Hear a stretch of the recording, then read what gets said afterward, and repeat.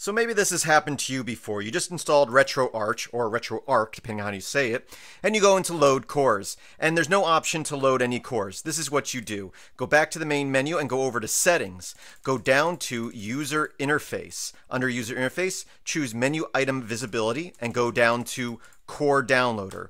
Enable that. Go all the way back to the beginning menu and go down to online updater.